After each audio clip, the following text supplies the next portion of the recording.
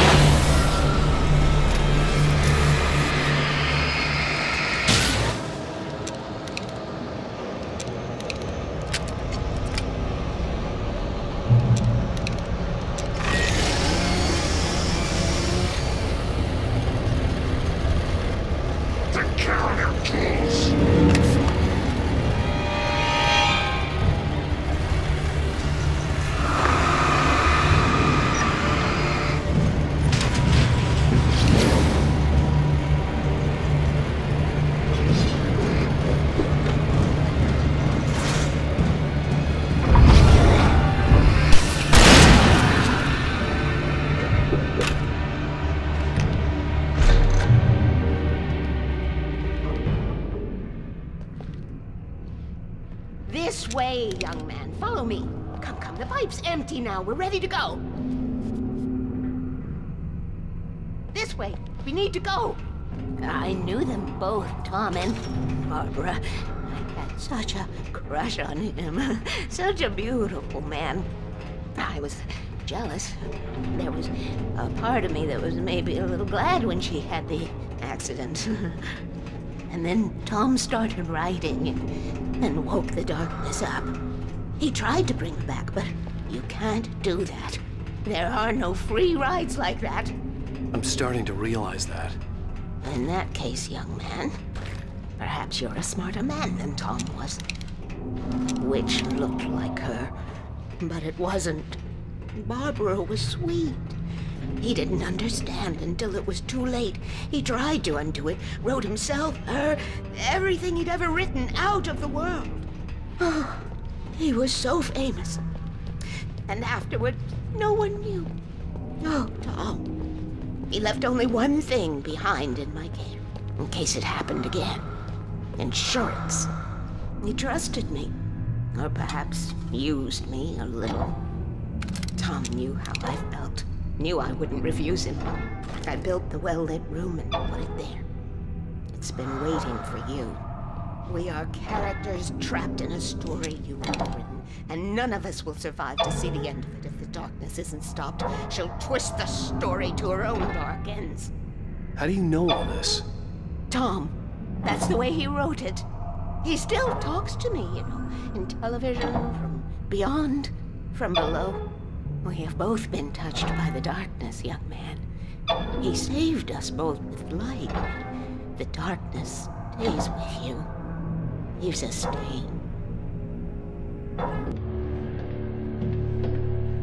This pipe will take us directly to the well-lit room. Okay, I need to call my friends, tell them where we're going. Hello? Al! Barry, we're headed to the dam in one of the pipes. Meet us there. Okay, I'll tell Sarah. It's Sarah now?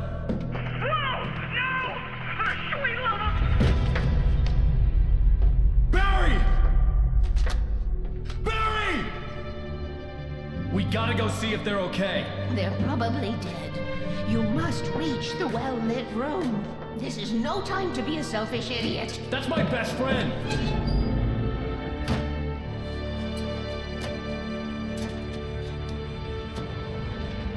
Well, be a fool.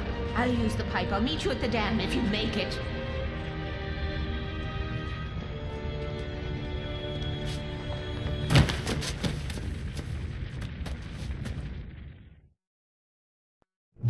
I didn't have to worry about her. She knew how to stay safe.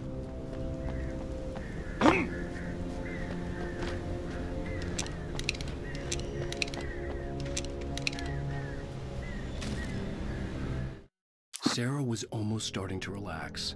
Maybe they could turn this into a win yet.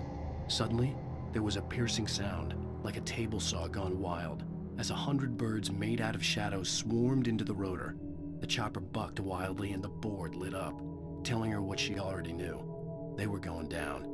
Barry Wheeler screamed next to her.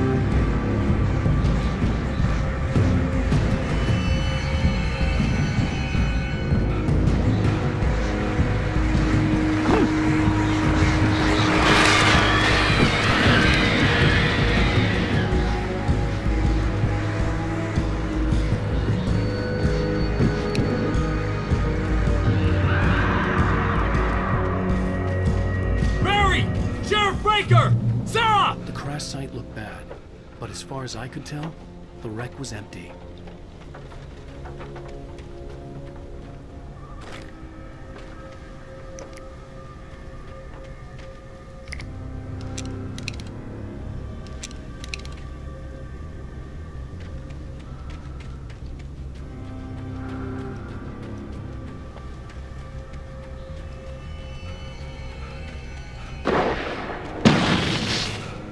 Barry! Barry! Over here! Hang in there, I'm coming!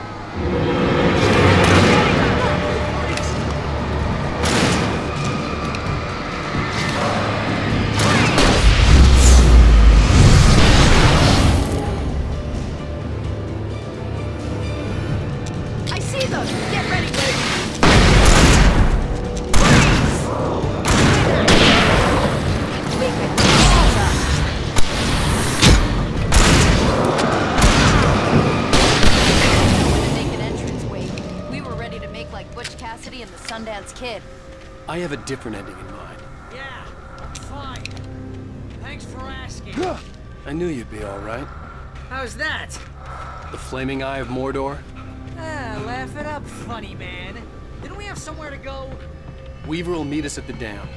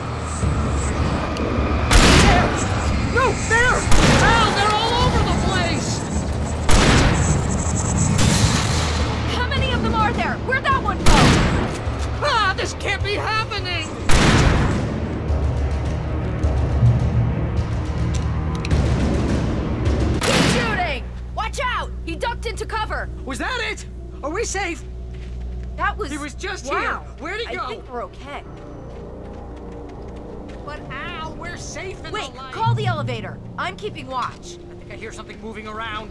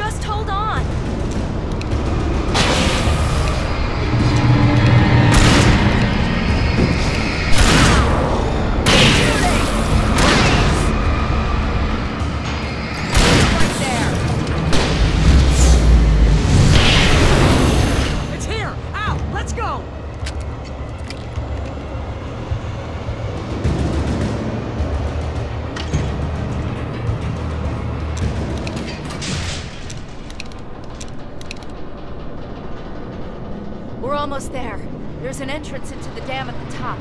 What's the plan, Wake? Well, Weaver's crazy, but she's got something Zane left behind. Something to fix this. Gee, could you be a little more vague? Thomas Zane? Seriously? Might as well be Paul Bunyan or Bigfoot. Yeah, well, he was real.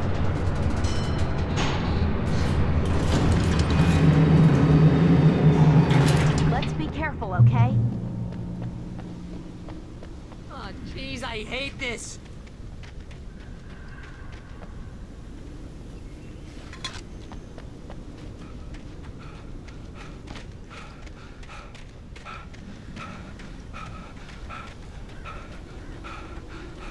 Okay, Wake. There's a button over there that opens the door.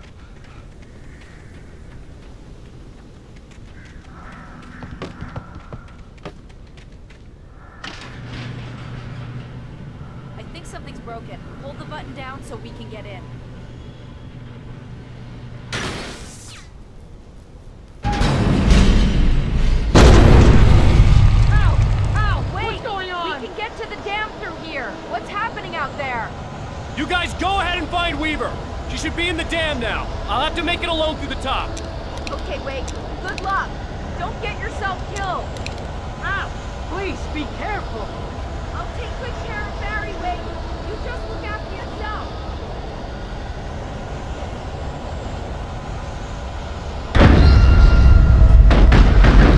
You gotta be kidding me.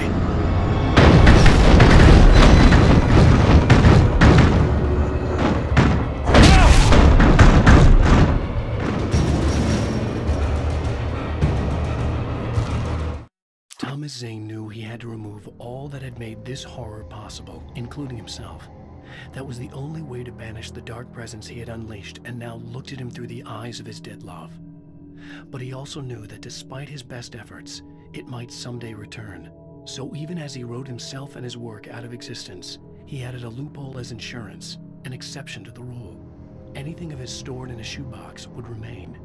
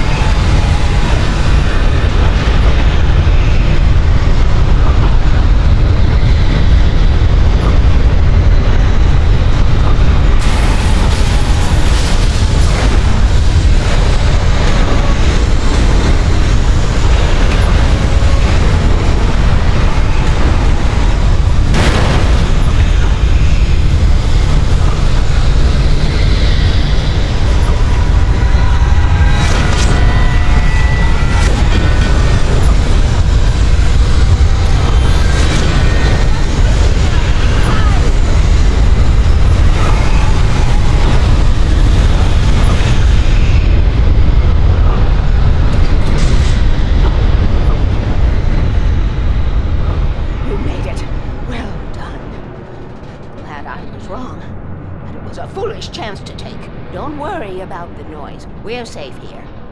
I have looked after the well-lit room for many, many years now. There is no shadow in the well-lit room. The power is fail-safe, and all the bulbs are numbered and changed regularly based on their make and model. Right.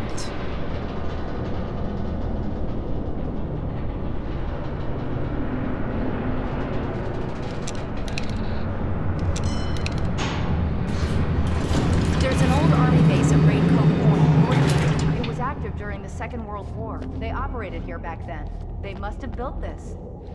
Yes, they did. It's my place now.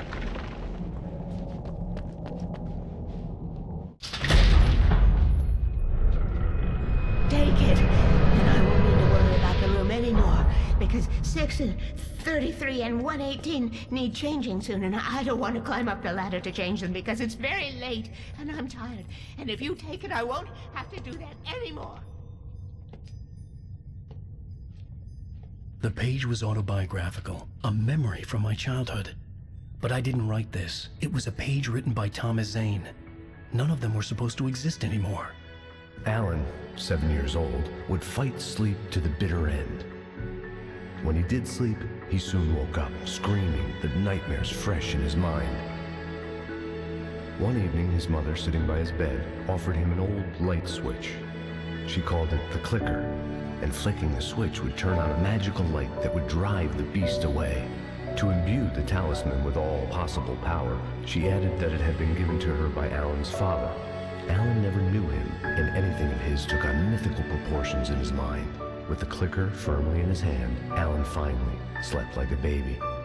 Now, almost 30 years later, Alan thought of this as he stood on the rim of Cauldron Lake, the clicker in his hand. He took a deep breath and jumped. My mind swirled. I'd given the clicker to Alice, yet it was here. Zane had written it into existence in a story I had written. I can get to her now. I can finish this.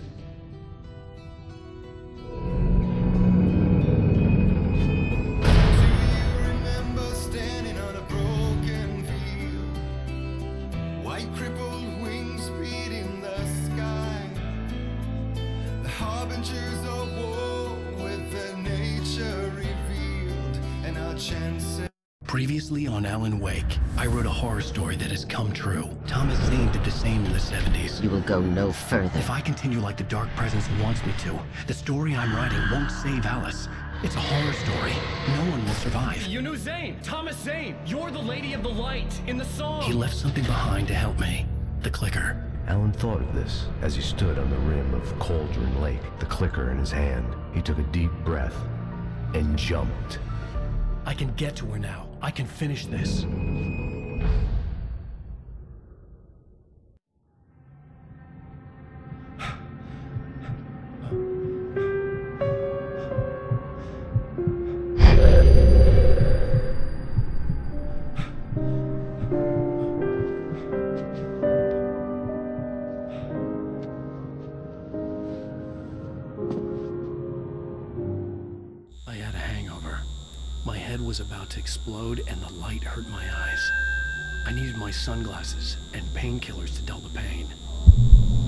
One of my finer moments of self-deception, I swore to quit drinking.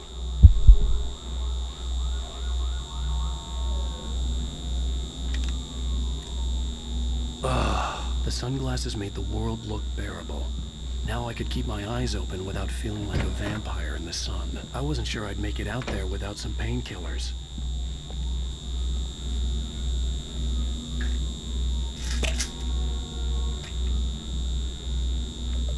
Pills worked fast. The prospect of being awake started to seem bearable again. There was a message waiting for me on the machine.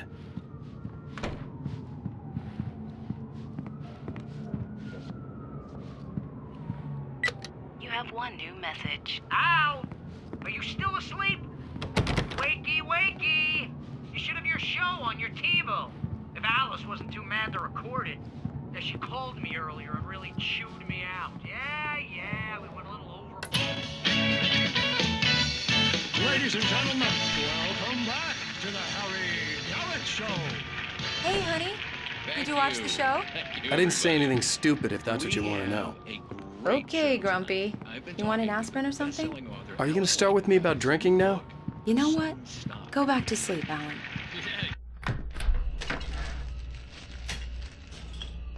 What? Now you can't even talk to me? Well, this morning I was angry because you said you'd be home at midnight and you showed up at 7 a.m. and passed out in mid sentence. Now I'm over it. Are you angry? This goddamn tour. It's gotten out of hand. Oh, honey. It's almost over, right? We can get back to normal. Then you can start writing again. I'm sorry, honey. Alan, you're not thinking straight. Just take a shower and go back to bed, huh?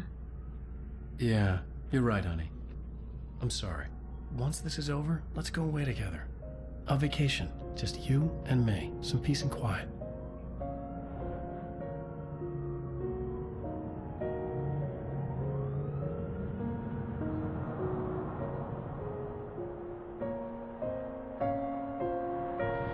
Somehow, the clicker was the key to the cabin.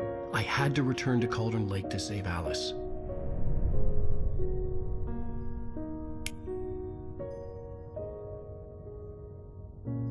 I'm going back to the lake to finish this. I'm going to write an ending to the story in the manuscript on my own terms, to make it all right. Why can't you just write it here? The last page is still in the typewriter. I need to read it first. Everything needs to be just right. Zane tried to cut some corners, and it didn't end well. Okay, ready when you are. I'm sorry, Sarah, but I need to do this alone. Barry, take her gun. Miss Weaver, close the door when I leave.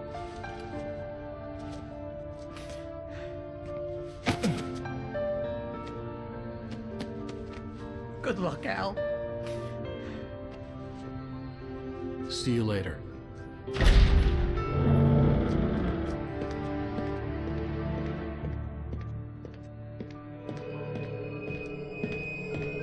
When I got out, it was warm and sunny. I'd flicked the switch of the clicker. Had it done this? I didn't stop to question it. I had to take advantage of the sunlight to get to the lake. On Zane's page, I'd stood on the rim of Cauldron Lake, about to use the clicker. That's where I was headed.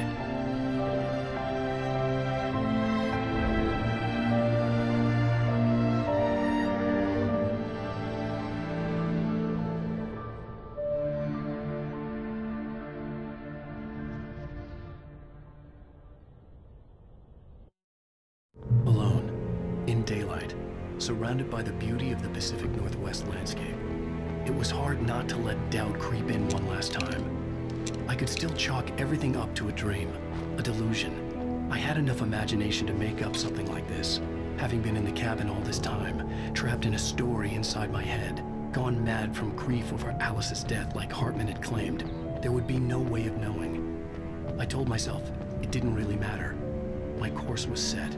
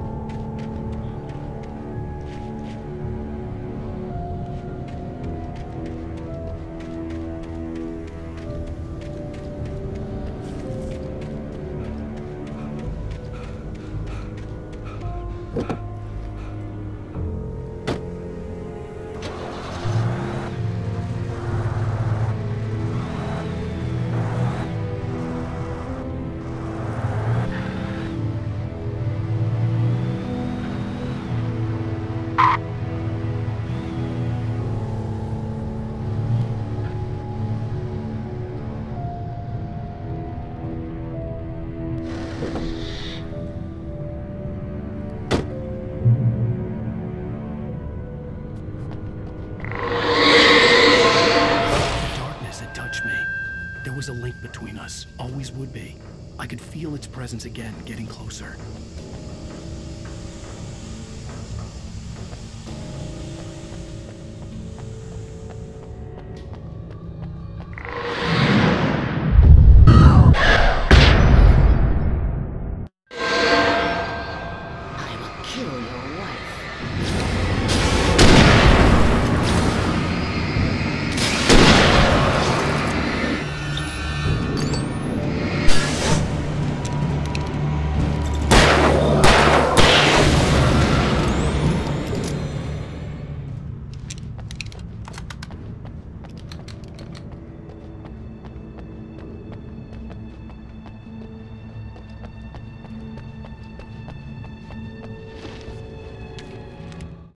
The Dark Presence was no longer trying to capture the Writer so he could create the ending it wanted. The Writer knew too much. He was too strong. And he carried a weapon left behind by Thomas Zane, something that could hurt it. Now, the darkness was doing everything in its power to simply stop the Writer from ever reaching Cauldron Lake and the dark place it came from.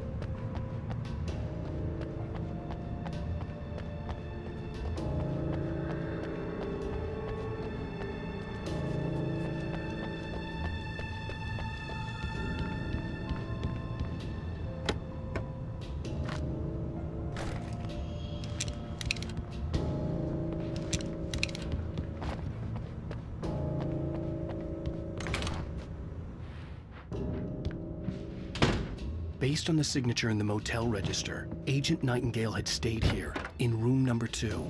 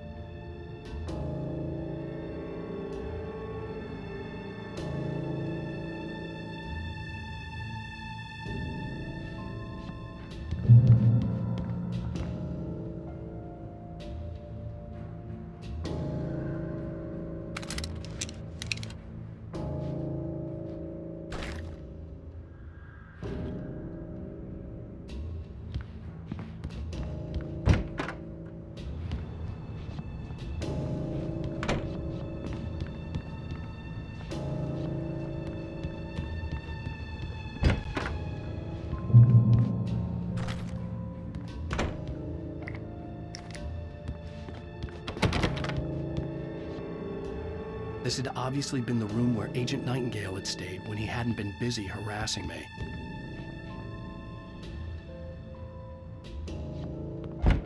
Look after yourself eh?